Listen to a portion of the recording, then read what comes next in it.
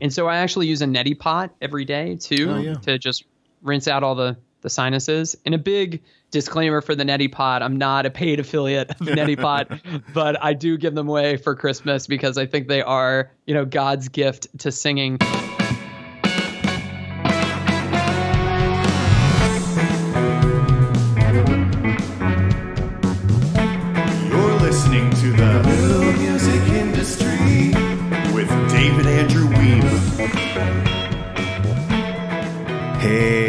David Andrew Wiebe with the New Music Industry Podcast.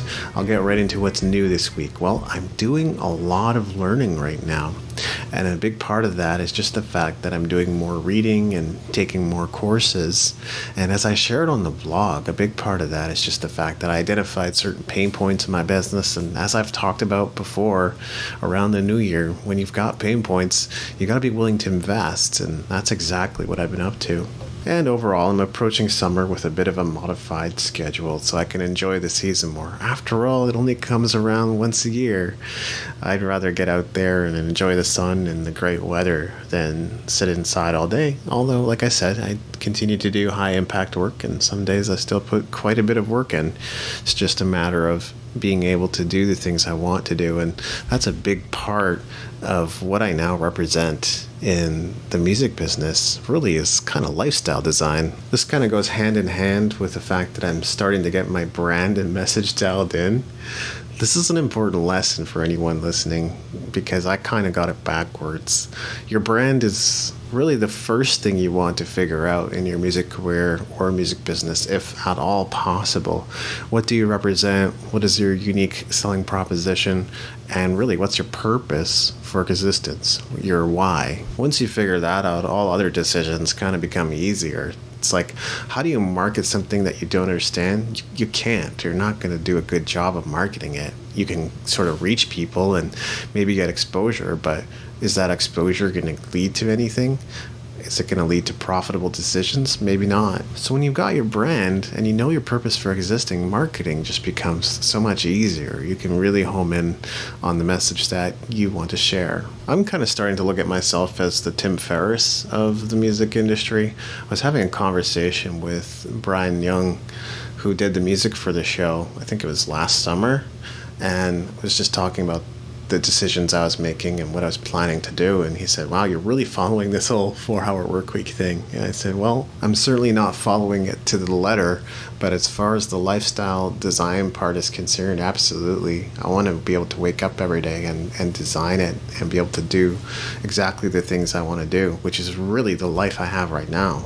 I'm sure that's something I'll have the opportunity to touch on more in the future, but I'd like to introduce today's topic.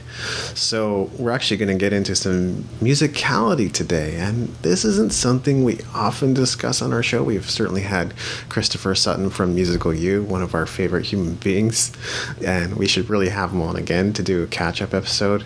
But I wanted to invite one of my friends on for the show. And it so happens that he teaches his students how to sing better.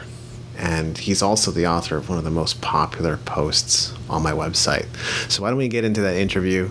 And I will meet you in the closing segment. Well, today I'm chatting with founder of Ramsey Voice Studio, Matt Ramsey. How are you doing, buddy? I'm doing good, man. Good to see you again. Yeah, great to see you too.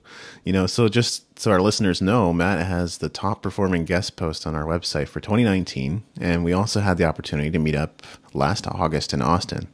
And what a wonderful city that is, man. I think it might end up becoming one of my many second homes while I'm living the nomadic life and looking forward to visiting again this August for, for the DIY Musician Conference.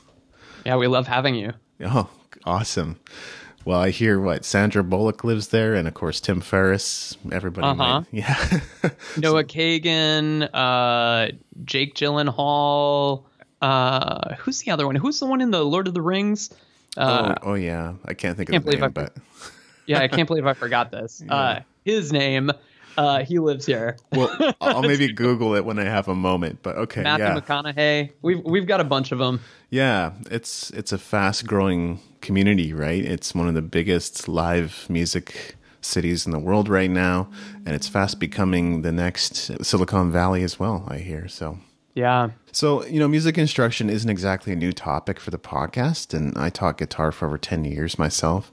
So I have a frame of reference for what we're going to be talking about today. I even have a chapter in my book, uh, The New Music Industry, about music instruction. So you brand yourself as a vocal coach, not a vocal teacher. What's the difference? Actually, uh, I brand myself as being able to do both. And, Ah. and I personally identify as a singing teacher um, because um, a the difference between a singing teacher and a, and a vocal coach is that a singing teacher can actually teach someone that does not yet have the skill set how to sing step by step. So I'll have students all the time that are starting from like maybe they can't even really sing on pitch or in time just yet. And I'm able to help ferry them from the the very beginner levels to more professional levels. Whereas a vocal coach traditionally their job is to kind of go in and work with singers that are already uh, they already know how to sing. They're probably have a big performance coming up and a vocal coach will just kind of go in there and be like okay change this thing or change this line or sing this slightly differently.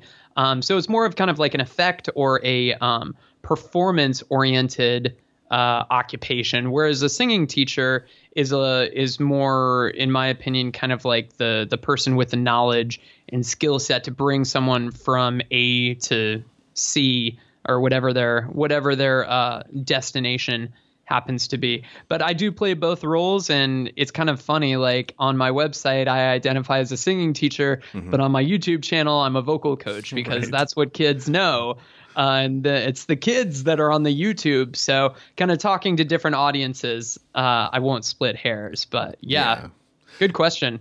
Absolutely. You know, in my business, it's the difference between training and coaching, which at 1st mm-hmm. sound like exactly the same thing. And h- how do I even differentiate the two? But training is usually me providing some kind of program on a very specific topic that you want to learn about, such as setting up your website or making your offer that converts or setting up your landing page and stuff like that. And coaching is really where, you know, we're one on one. I'm giving you very specific advice based on your circumstances and what's happening in your career. So I can understand that there's you know differentiation that needs to be made there. And, and Yeah. yeah.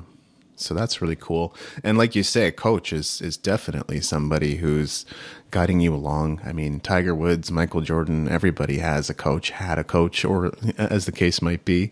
And Yeah. so that the importance there, like what what do you see as being the biggest value of coaching?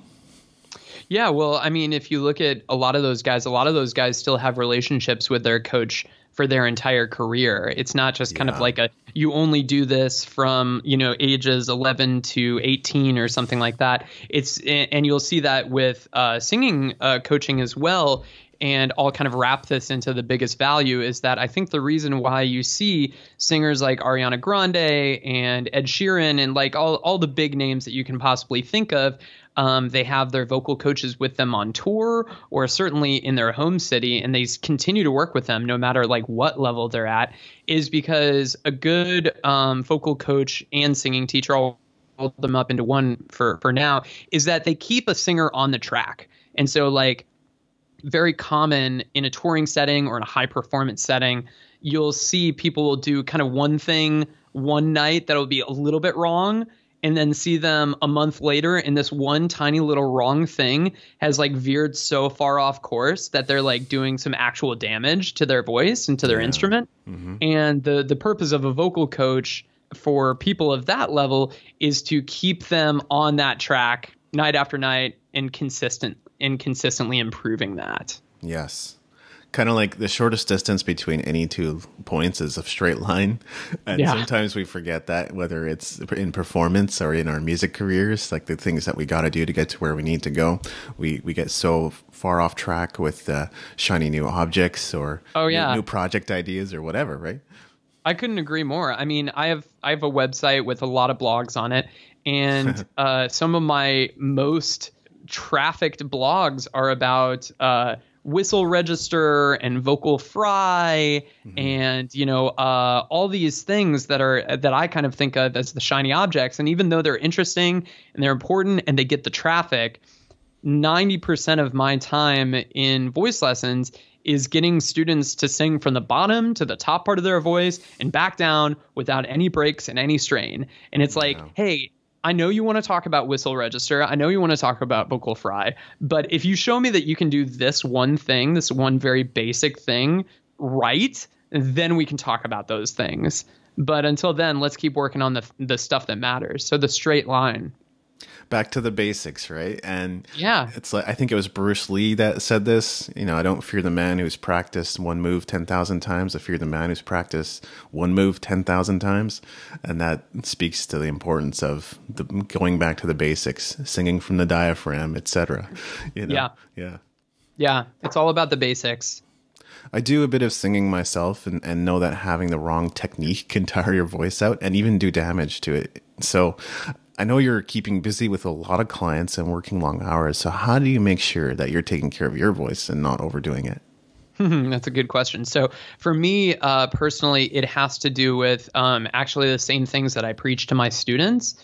Um, but I have to do them or else my voice falls apart. So for me, every single day, um, I have a, a very strict warm up routine that I do. So I get in the shower, turn on the steam really hot. So I've got some of the, mm. the steam that's actually um, hydrating my vocal cords.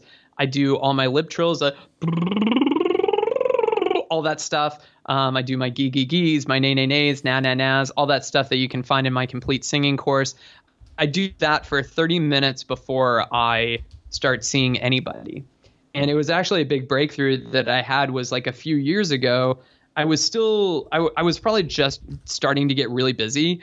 And I would still kind of just like wake up, you know, slug around the house, and then I'd start, you know, seeing clients for the day, but I wouldn't warm up before.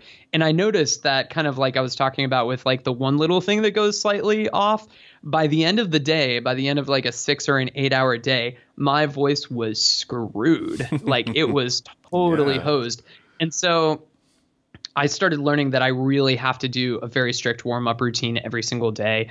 I also keep a, a really clean diet as much as I mm. can, uh, just really lean protein and vegetables. So, cutting out the gluten, cutting out the refined sugar, cutting out alcohol, caffeine, all that stuff. I'm basically the most boring person in the world, but it's it's what it takes to you know teach you know 30 to 35 hours of students a week. Um, you just have to you know ha- get rid of all that extra stuff that isn't doing that. Here in Austin, allergies are a really big thing. So um, having a good allergy regimen too is really important because we have a lot of uh, cedar pollen right now, mm. and so I actually use a neti pot every day too oh, yeah. to just rinse out all the the sinuses. And a big disclaimer for the neti pot: I'm not a paid affiliate of neti pot, but I do give them away for Christmas because I think they are you know God's gift to singing. Uh, but just make sure you use distilled water with them, and and you're good to go. So those are the three big things I would say. Yeah, that's really cool. And, you know, I've done some constant experimenting with diet as well as exercise in the last three years or so. Uh, and partly to get into, you know, better shape and better health and to have more energy and all that kind of stuff. And, and so, I mean, that's valuable to me in, in a, maybe in a slightly different way, just because like I'm always typing something up or jumping on a podcast call like this or designing something. And so like end up working long days. The more energy i have the better ultimately. Right. So you know when i'm eating at home i'm eating pretty much vegan these days if i'm eating out then i'll i'll kind of let myself eat whatever i feel like in the moment yeah but, we had some brisket we had some yeah, good brisket when we were here dude we gotta go have some brisket again absolutely and and these days I've been experimenting with uh, intermittent fasting as well, which mm-hmm. uh, which actually has been really great for for losing weight. So yeah, it's almost like the cheat button for losing weight. It seems like. Yeah, it's pretty crazy. You're looking good. Oh, thank you, thank you. Yeah, man. So in your teaching, you say you, you utilize speech level singing and mm-hmm. Institute for Vocal Advancement methods. I'm sure my listeners would love to learn more about that. So talk about these methods. How do they work? Yeah, so kind of the elevator speech for speech level singing is that it was um, devised and designed by Seth Riggs. Uh, people kind of uh, have different dates when it started, but it certainly became like a big thing uh, during the 80s and during the 90s. It was made famous by singers like Michael Jackson, Stevie Wonder, Bette Midler, Madonna, Anthony Kiedis of the Red Hot Chili Peppers, a bunch of others. And they were all students of his. And basically, he took this one really simple idea of hey, most of the time, what people are doing in order to hit high notes is exactly why they're not. And that that thing that they're doing is they're straining their voice. So like oftentimes, you know, if people are trying to sing like a high A, they'll ah! they'll like just really push up to that top note. Um, when instead it's like, well, wait a second, what if you actually kind of like said that word or brought that word back to speech level, like ah, or something like that, then you can actually make that note a lot less strained and you can start to build more power into it then. So speech level singing is just all about taking the spoken level or just the way that you would say the words and putting it to music. And that is a surefire way to get rid of the strain because no one has strain when they're talking. I mean, some people have strain, but most people, they're just like, talking, oh, everything's fine. But as soon as they go to sing, they're Ugh! they're just like have all this tension and stuff going on in their voice. So speech level singing is all about just kind of stripping away all that extra tension and just bringing it back to a very, very healthy and natural place for people. And then if you want to go crazy from there, you can because you actually know where the right place is. You know where the healthy spot is. Um, but as we've seen, um, there's a lot more kind of like sustainability in ridding the body of the tension um, than there is in just like, oh, I'll just keep doing it. So what if I blew my voice out three times in a row? I'm sure it'll be fine. These days, it's like we have all these stories about like Adele, Sam Smith, John Legend, Yes. great singers that have had big, big vocal issues because they continue to push.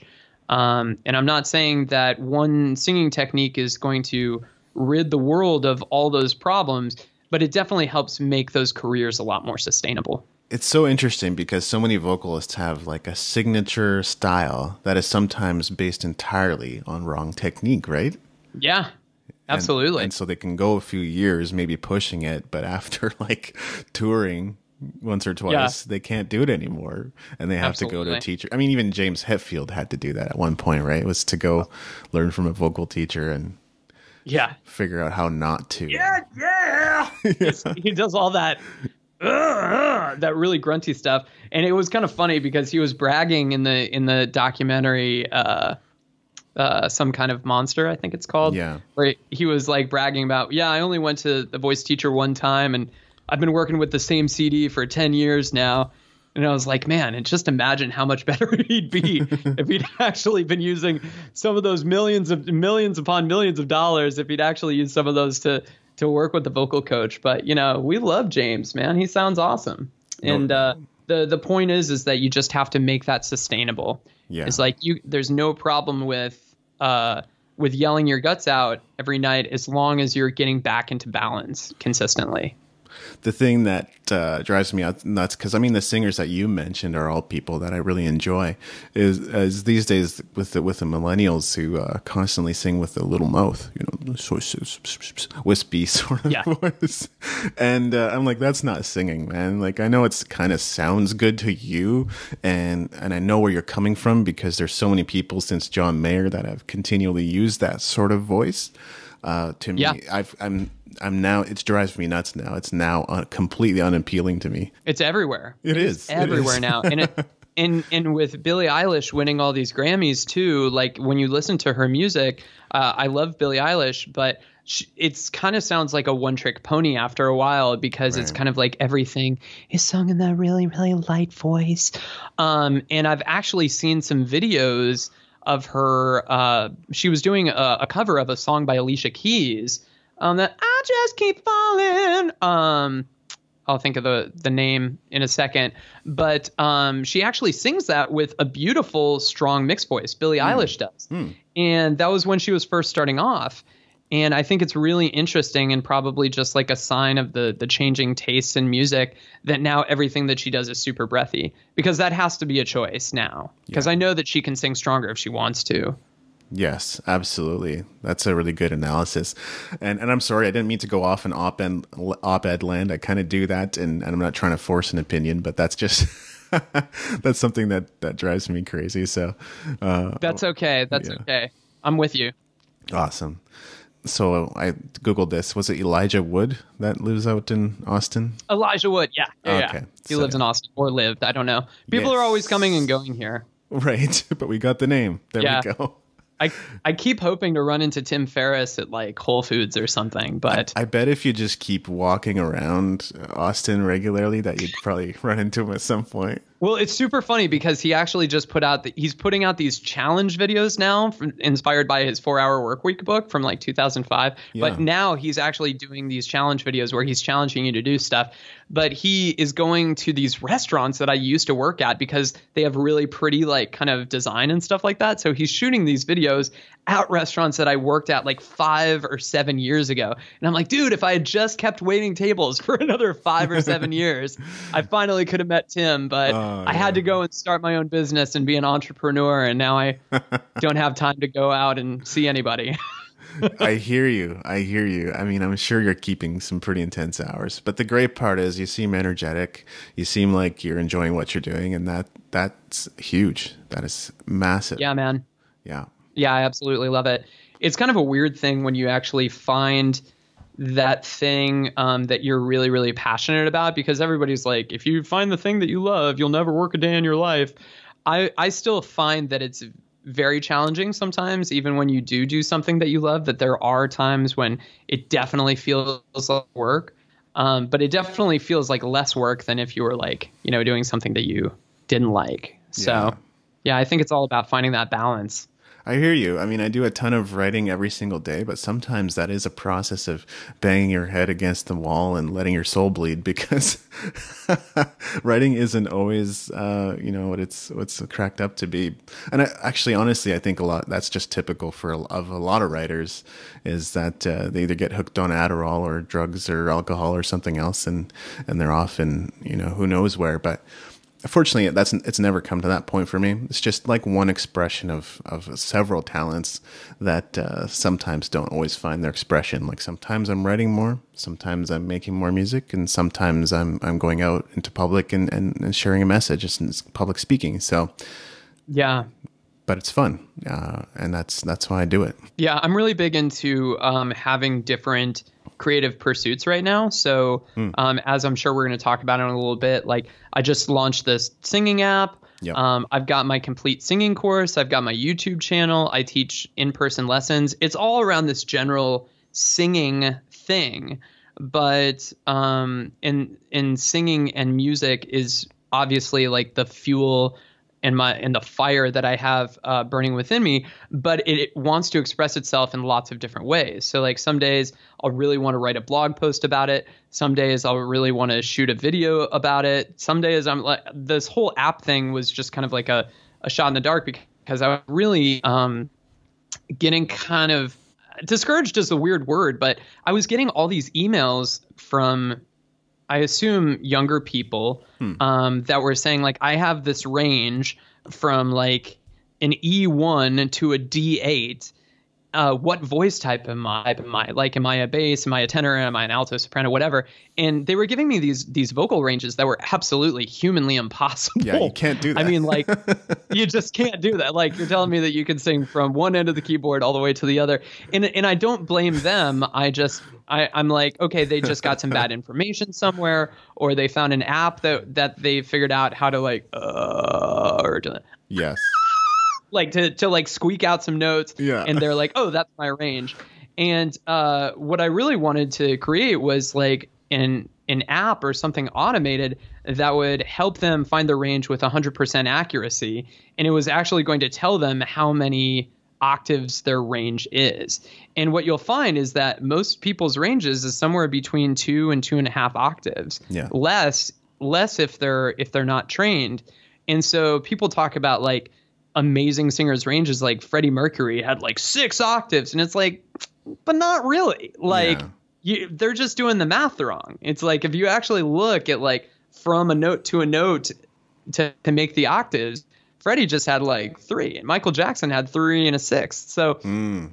it's kind of uh, one of one of those passion projects of mine where I saw an opportunity of like these people don't really understand that, and that's kind of crazy because um, you know vocal range and knowing it is really important. It'll tell you like not only how low and how high you can sing, but it'll also tell you what your voice type is, like bass, tenor, alto, soprano, all that. It'll tell you where your weak spots are. It'll help you pick songs that fit your voice and stuff like that. So I got really curious about what it would be like to actually go forward and design something that wasn't just a blog post that you know a lot of people would click on but maybe not everybody would actually put into action or watch a YouTube video where they would just watch it. They wouldn't necessarily sing along. But with an app or something like that they actually have to take some action.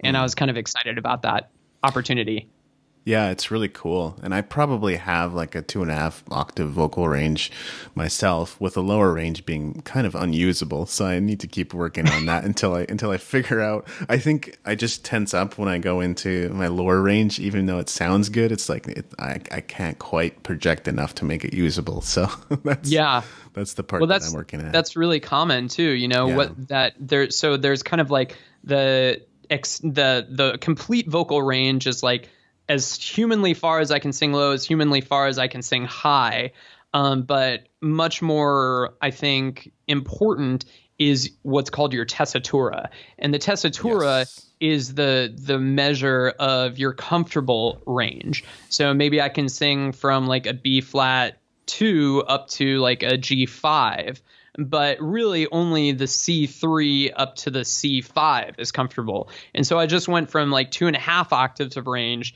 to only having two octaves of range in terms of tessitura. And that's way more important. If I'm looking to choose a song, I don't want to choose a song that's like chandelier, that it's going to have like three minutes of the song I'm gonna stay like it's just staying up there the entire time. Yeah. I need to choose songs that are actually in a better range for me. Yeah, and I think what you've hit on there too is like sometimes you'll see backing singers and bands go on and start a solo career, and everybody goes like, "I didn't know they could actually sing." And what you discover is they're they're doing exactly what you said, which is they're writing their tessitura, right? They're, mm-hmm. they're making songs in a range that's awesome for them, and Yeah. and making sure that they're actually singing in that range. So Yeah. that's, that's how you can. I mean, you're not faking it till you make it, but yeah, that's how you can make it sound really awesome. Yeah, and oftentimes the backup singers are better singers than the front person. That's true, actually. Yeah. there are uh, there are pop singers that I know of whose names won't be mentioned. Uh, that their backup singers are the ones that are kind of keeping them on course all night. They're like, okay, so they're singing a half step sharp for about the first 60 minutes of the show. Let me see if I can help guide them back into the actual place that they're supposed to be. So, It's true. I've heard some of the uh, raw raw signals coming from some of those vocalists, and Yeah. wow.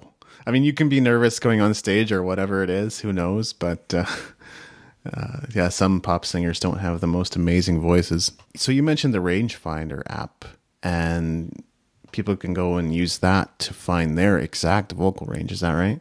Yeah, exactly. So it's rangefinder.ramseyvoice.com. And I'll even uh, give your listeners a special bonus right now. I want to challenge them to go and try the Range app right now. Basically, you just go to rangefinder.ramseyvoice.com. You click uh, one microphone and sing your lowest note. You click the second microphone and sing your highest note. You enter your email and it gives you your range in only six seconds. So, like, it's three seconds for your lowest note, three seconds for your highest note. That way, there's no cheating. People c- can't just uh, and it count. It, it just won't count it. Um, and then it will tell you your exact vocal range. So uh, the bonus that I'm going to give your listeners is if you go to rangefinder.ramseyvoice.com and you find your range, use the the little mail app um, like the email app that's inside of the app to send me your vocal range and I will tell you what your voice type is. So let's say that you find it from like a C3 to a C5 is your vocal range and I will personally write back to you and be like, "Hey, you're a tenor. Congratulations. Go and live your your whole life as a tenor now." um, and again, you can do that in only 6 seconds. So Nice. Yeah, I think the main thing there is just try the test. And if you're new to singing, you probably won't have a massive range, like you said. So don't feel bad, right? You can always Right. extend your range by a few notes and and really find your own your own place in, in the whole scheme of things because whether it was Johnny Cash with his really low voice or or Bono with his you know borderline tenor voice there's all kinds of singers out there and we need all kinds Yeah, range is range is just a number, and people get really hung up on that number, and they're like, "Well, I can sing from here to here," and it becomes this kind of measurement contest, which can, can be kind of fun. I actually built in uh, some social um, shares into the app, so when people find their range, they can share it to Facebook, they can share it to Twitter, and be like, "Hey, I found my range. Who can beat me?" um, but at, at the end of the day, you're right. It's all about how good you can make those notes sound. It's not just how low and how high you can go. It's how good it all sounds. And I think that's something that a lot of people forget. Yes, absolutely. And I'm sure the next logical thing that people are going to want to know is how they can extend their vocal range beyond what it is and maybe begin to hit certain notes. Because, I mean, all, we've all had that experience where we've listened to our favorite singers and gone like, "Oh my god, I can't hit that note," and we want to be able to sing that song, which might just mean adapting the the key signature. But either way, what what what are your thoughts on extending one's range? Yeah, absolutely. So, I mean, the the general answer is that you need to work with singing techniques that actually um, help you overcome whatever issue um, you're having. So, at the risk of blowing out my microphone here, a lot of people may uh, really add a lot of tension as they sing higher. They'll ah, and that tension is why they can't actually sing up to that ah, up to that high note. In which case, they need to work with singing techniques that that strip away that tension. And then there are other um, singers out there that their kind of default tendency is that they just back off. They'll ah, and everything's so light and breathy up there that uh, it's really difficult to get the sound that they want. And for those singers, they need to work with singing techniques that actually build and strengthen the voice. And to kind of uh, bring it back to the post that I wrote for you, um, which was different ways to sing more powerfully Yeah. for them, oftentimes it's about working with vowels and exercises that will open up the voice. So if someone's backing off a lot, like ah, then doing on a ga ga ga ga ga ga ga ga ga ga can help a lot because that openness of that vowel, that uh, drives a lot of chest voice, a lot of thickness in the muscles.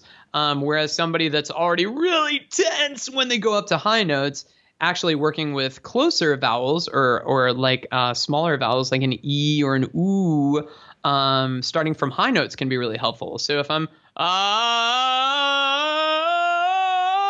then maybe doing a gee gee gee gee gee gee or a goo goo goo goo goo goo can help them get rid of some of that tension and then they can start to ah they can actually start to sing with the the right balance um, but the um the capitalist answer is that you just have to check out my complete singing course Yeah, which has that has all these tools and a whole lot more to take you from a beginner to a pro nice. That's awesome.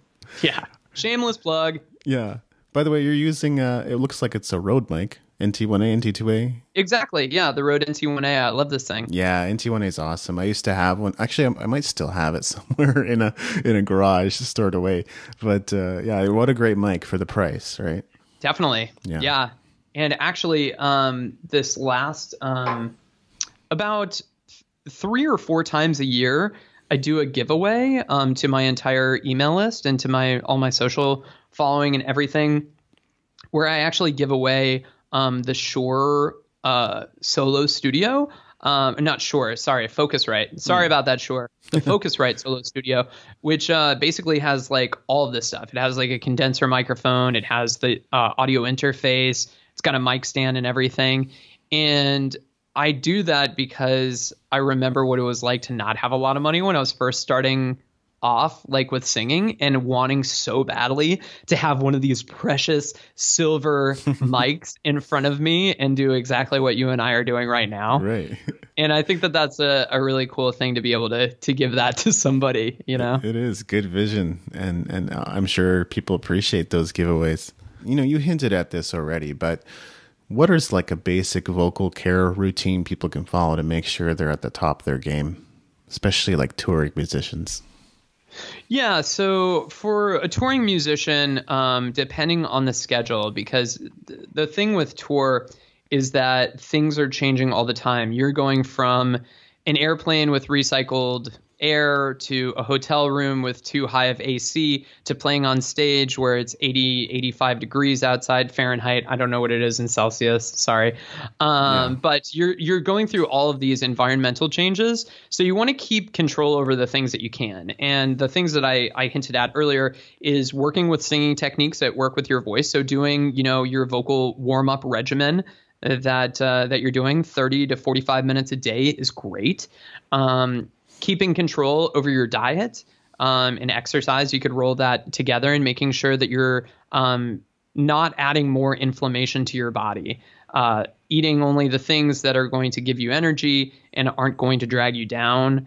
Um, like we were talking about, avoiding all the heavy carbs, the really heavy sugar, the gluten, whatever it is that uh, adds inflammation to your body, um, and keeping up the working out, like you were talking about, mm-hmm. because. Mm-hmm you know, the voice is just one part of a very, very large instrument, which is your body. And if you're keeping everything fit and toned with your own body, then most likely things are working pretty well in your voice as well. And the third thing would be that you want to just uh, make sure that you're keeping everything uh, level. You're not going too much into excesses every night. So uh, that could be drinking too much, uh, smoking too much, could be just you know, going to a loud bar after the show and screaming your your voice out until it's until it's gone and trying to rehabilitate that the next day is always so much harder than just taking care of everything on the front end. So it's kind of that ounce of pre- prevention is better than a pound of cure kind of idea. And and I'll be honest here, um, I've worked with some rock stars that they're pretty boring. Yeah. like like when they actually talk about their life on tour, it's like, well, yeah, we just got into the hotel and it's like, where are we tonight? Indiana? Okay, yeah. So we got into the hotel tonight and yeah, I'm just to you know, probably watch some TV and, you know, get a good night's sleep. And these guys are playing in front of thousands of people. And it's kind of like you would never guess that they're like, you know, hanging out in their hotel room and just chilling in order to preserve you know all of their energy for the show and stuff like that and and the long tour that is ahead. So you'd yeah. be surprised at how boring some uh, some rock musicians or just you know some high performing people are in general because they know that's what they have to do to to help them preserve their voice yeah, I mean, hey, even Tim Ferriss himself has said that uh, at times his life is just as boring, right? He wakes up at a particular time, he meditates for 20 minutes, he drinks a certain cup of tea, he gets to work on and writing his book, and that's kind of like the shape of his day. And people would be like, what? I feel like Tim Ferriss is probably more boring than a lot of people yeah. realize. Yeah. I think it's just like the the, a guy that is that optimized does not leave a lot to chance, you know? No. And the chances are what make life worth living sometimes. So Agreed. I'm all about it. I'm not saying that you have to be a, a monk when you're on tour no, and just, I'm sorry, guys, I can't talk. Um, but uh, yeah, there's it's just all things on balance, you know? Yeah, get it dialed in. And if it works, just keep doing what you're doing. So That's right. We're we're gonna get into a few fun general questions before we wrap up the episode. The first is, what's the greatest challenge you've encountered to this point that you've overcome? Uh, with singing or with growing a business or I would love to hear. What would what, you refer to? I would love to hear. Uh, yeah, what was the greatest challenge with growing your business? I would say the biggest challenge to growing my business was figuring out how to write uh, posts and shoot videos that would actually mm. uh, hmm. get watched by people. And that was really tough because I know this is probably going to go more into the weeds, and you can tell me if it goes too too technical. But I got some really good advice um, from a, a good marketing friend of mine who basically said this whole idea of like, oh, I just need to like write a blog every week, or I just need to shoot a video every week, and I need to do X, Y, and Z uh, things uh, all on a really quantity basis, a high quantity. It doesn't matter what it is, just need to get it out, get it out, get it out. That is not the way to go. Instead, you want to put out the highest quality, most helpful, give all your secrets away, give away the store, and people will come to trust and respect you. That's a really difficult thing, I think, for a lot of musicians and entrepreneurs to do um, in their business because they're afraid that it's like, oh, if I give away too much or if I make this video too good, nobody will sign up for my course or nobody will read my book or whatever it happens to be. But that's actually the best way to grow an audience that really trusts you. Dude, yeah, absolutely. I really feel your pain there because doing things in business is a lot like learning an instrument or singing because you have breakthroughs as you continue with the process and keep practicing and keep working at it. It doesn't come in a big flash of inspiration. You don't figure it all out overnight. Like I've been studying SEO for years. I kind of got it, kind kind of get it, kind of don't get it. And then yesterday, yesterday I had a total breakthrough with it. But if I hadn't stayed with the process to kind of figure out exactly what you're saying, creating quality content around a specific subject and also doing it strategically, then you know, I can't expect to grow my audience. I, I grew my audience to this point, blunt force trauma, exactly what you said quantity, so much content, this, that, and the other podcasts, videos, blog posts. And, and I couldn't agree more that, like, as I look to start new businesses, that really what people want is to hold something beautiful in their hands. Yeah. and you got to give that something beautiful to them. this is this is one of my books. I mean, listeners yeah. may not be able to see it, but if I mean, it's not the most incredible design I have. I have I have a book that uh, I think even kind of wins out on this one, but this in my hands still feels like something substantial. It it looks pretty cool. It's got a cool color scheme. It's got some nice fonts. It's easy to read, and and that's where the focus I think is is moving to now. Even if it wasn't before, and, and maybe it was always that way, but I I do feel yes, invest in quality. Absolutely. Yeah and, and and being helpful yes. is one of the other things that i mean your book is great. There's a lot of fantastic insights into it. And if it was just pretty book with the the cool oh. design of a tiger on the front of it but without but without a whole lot of meat on its bones. And i've downloaded a lot of those bad pdfs where it's oh, like oh, it yeah. looks really cool on the outside. You get on the inside and it's just like nothing. It's just like just the the worst yeah. but it looks really cool. So you downloaded it. So like what impression does that leave with you as a consumer of that content? You're like, okay, well I can't trust this person. Yeah. But, you know, on the on the contrary, if you get something that even looks maybe a little bit less cool but is way more helpful, then you've really actually started building a relationship.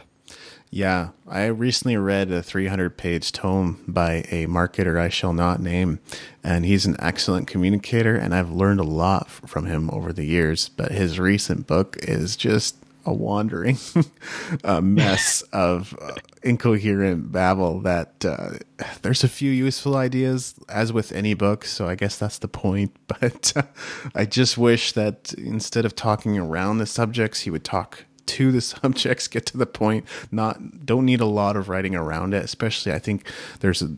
I don't want to assume too much, right?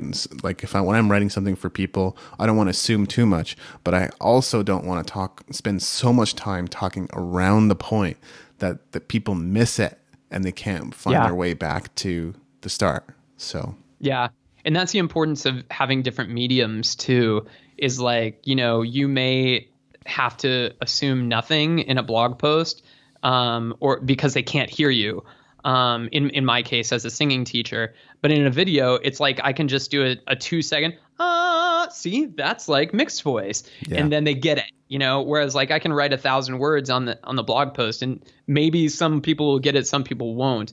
Um, so every medium has its own kind of bias as to what's going to work and what's not. It's a great point. And what's the greatest victory you've experienced in your business? Um, the greatest victory was hitting 10,000 email subscribers. Mm, um, huge. Yeah, I just hit that. It was what um, February 20th, I think it was. I was I was like online to being to doing it by March 1st. In sometime in December, I was like, "That's it. I've been screwing around long enough.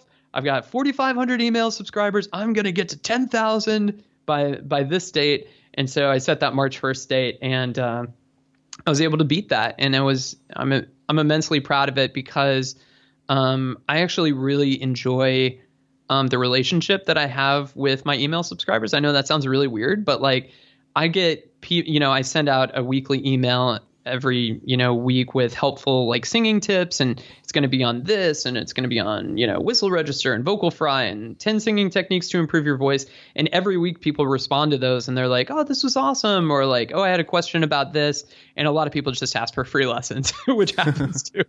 Um, but uh, i actually really enjoy that um, because people think of email as this really cold thing and I actually enjoy getting those emails more than I like looking through my YouTube comment list because YouTube comments can be uh, they can go several different ways. Yeah. You know?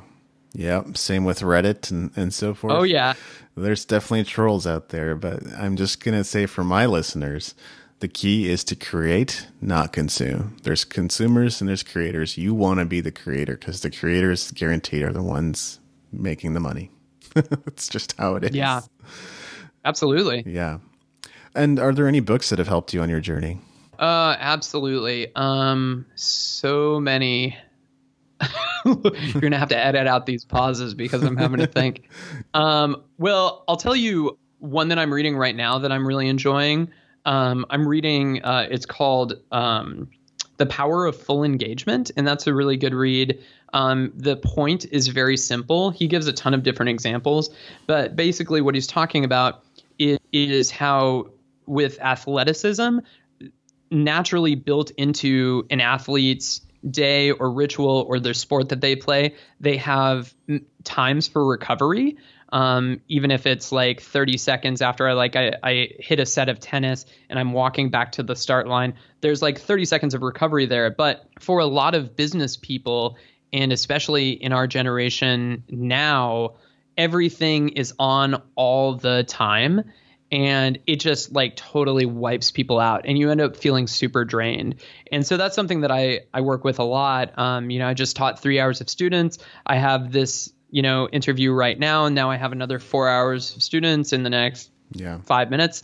So it's kind of like trying to find those little bits of recovery time whenever you can. Um, the other big one that i would say is the power of habit um, and that's a fantastic read Charles Duhigg. um, because Exactly. Mm-hmm. And that one's so great because it's just all about substituting, finding out what is causing your habit. And most of the time, our habits are caused by craving for a specific stimuli. And understanding that if that's something that you're trying to fix, you just need to substitute a different stimuli that will achieve that same thing. So, as an example, like one thing that I'm always finding myself doing, which I shouldn't, is like always checking my YouTube channel, always checking the stats and the analytics on how things are growing. And that's because I'm like craving like this feeling of like, oh, my business is growing, or like I need stimulation, or I need to feel creative. And so instead, substituting that with something else that's a lot more beneficial is is has been really game changing for me. Absolutely, I hear you. Staring those stats doesn't really accomplish much of anything. it makes you feel you feel that dopamine release for like just a second, and then you're like, ah, ah, okay, good. You could. Oh, I checked my analytics. Ah. and you could check multiple times a day and not much has changed. And you know yeah. just and and I, I depend a lot on organic traffic. So that number can go up up and down all the time too. And it's nothing to be alarmed or or fearful of at, at any point. You know there's so many ways to get traffic these days too but uh, yeah you're right it could be a dopamine release or sometimes it could just be like oh my god what's happening with today's organic traffic you know? yeah it just took a nosedive and like nothing happened it's just like the weekend or whatever yeah but your day is ruined because you saw that that thing inch down for a second exactly yeah well, this has been a really fun conversation, Matt. Thanks for your time and generosity. Is there anything else I should have asked? No, those were all great questions. I would just say, like, I, I really love it um, if I got some emails from your listeners that are like, hey, I found this range, but I have no mm. idea what my voice type is. Um, so send me your ranges. Um, you just go to rangefinder.ramseyvoice.com. You click the two microphones, you sing your lowest and your highest notes. In only six seconds, you get a 100% vocal range accuracy. And then there's a little mailer thing that you just send it to me at matt at ramseyvoice.com, and I will personally reply with uh, your voice type. And I, I'm super excited to see if uh, some people do it. Absolutely. Sounds good. Send your voice to Matt, everybody. And I will see you, Matt, in Austin again soon, hopefully. Yeah, go get brisket. Oh, yeah. I got to go get brisket again. It was really good. All right, brother. I'll see you. All right. Cheers. And I'm back. Well, this conversation with Matt happened just before lockdown. So even though I wanted to get it out to you much sooner, it was on my other laptop, which was in Abbotsford. I was in Calgary and decided to self isolate and quarantine there for three months. But I'm glad I'm able to get it out to you now. I am sad that I don't really get to go to Austin this year. I don't think the current circumstances are going to be solved by what the government or the media is proposing. But if I go too far down that track, I know I'm getting into conspiracy theory territory. So I guess I'll leave that one alone. Can you tell I'm itching to travel? I'm really itching to travel. But for all my vocalist friends out there, didn't Matt deliver some superb value here? He didn't have to give away this much. He gave away a lot. He's got a course, he's got students, he's got products. He didn't have to give away as much as he did. And he's got a great guest post, like I said, on Music Entrepreneur HQ. So just please go over, say hi, thank him go to his website, find him on social media, whatever it is you do. So, here are my three key takeaways from this interview. Of course, as usual, whatever you got out of it is just as important, if not more important. I'm not suggesting that my takeaways are going to be yours. Number one, the top performers in the world work with coaches continuously. You don't just get a coach when you're starting out, when you don't have the money for it. You don't just get a coach in the middle of your career when you're beginning to struggle. And you don't just get a coach towards the end when you're riding high a coach is someone that you should be working with continuously so that you're at the top of your game. Number two, work on the fundamentals. What's the shortest distance between any two points? A straight line. If you can't identify that straight line, it just goes back to point number one, which is that you need a coach. Takeaway number three passion isn't always easy. That's something I talk about in my forthcoming book, Flashes of Elation. No, I haven't dropped off the map with that, but I am kind of sorry that it's taken so long. I've got my priorities for this year, and it's already summer. Just unbelievable. I mean, if I'm really lucky, I'm going to finish it at the end of this year, but there's a good chance it's coming next year, 2021. With the news and updates, it's always exciting over at Music Entrepreneur HQ, all the things that we get up to. So, there's some things that I forgot to mention in past episodes. It happens. As I alluded to at the beginning, Life Updates June 2020 is now up on the blog, and you can read all about what I've been up to. In a recent episode of the podcast, I was kind of speculating on what I was going to call this, whether it was going to be business report or monthly digest. I settled on life update. That seems to make the most sense. How to get a booking agent went live over at davidandrewwiebe.com, and that's also fast becoming an amazing resource for creatives, artists, and of course musicians. We had a guest post go live on Music Entrepreneur HQ How to Grow Your Fan Base with Instagram and Facebook Advertising by Isaiah Ram. A very timely blog post, I would say. The big news, of course, is the program I'm launching. So, like last time, I'm going to roll my call to action here. The only way to learn about my new program is to buy the Music Entrepreneur Code or join my email list. And my new program is going to be amazing. I'm going to have some serious skin in the game in helping you get to the next level in your career. This isn't going to be for everybody. It's going to be for go getters. It's going to be for people who are at a certain point in their career. If you're way ahead, if you're advanced, then it's probably not going to be for you. But if you're still kind of just getting started, or if you're like at an intermediate level in your career, I think this is going to be a huge help to you. Now, you can take your pick in terms of whether to buy the Music Entrepreneur Code or join my email list. I would suggest picking up the book anyway because it's amazing. It's great. I've had some fantastic reviews and testimonials about it. But you can simply join the email list if that's what you want to do at musicentrepreneurhq.com slash join to start getting links and updates to all the things we're up to. Now we'll get into listener comments. Now this is a bit of an oldie, but why not?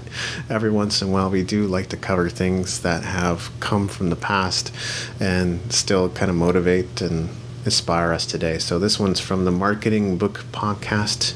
He says, I raise my goblet of rock to you, good sir. The music industry has changed dramatically, and this podcast will help you evolve with the times so that you can pursue your dream of being a musician. Absolutely. It will help you adapt. Thanks so much, the Marketing Book Podcast. But wherever you're listening to this right now, don't forget, leave a rating and review for the show, and we will feature it right here on the podcast. As usual, the fastest and most convenient way to contact me is on Twitter. My username is at David A. Wiebe. That's W I E B E. This is David Andrew Wiebe, and I look forward to seeing you on the stages of the world. Thank you for listening. Music in this episode was brought to you by Brian Young. Wherever you're listening to this right now, please consider leaving a five star review and comment to help us get the word out about the podcast.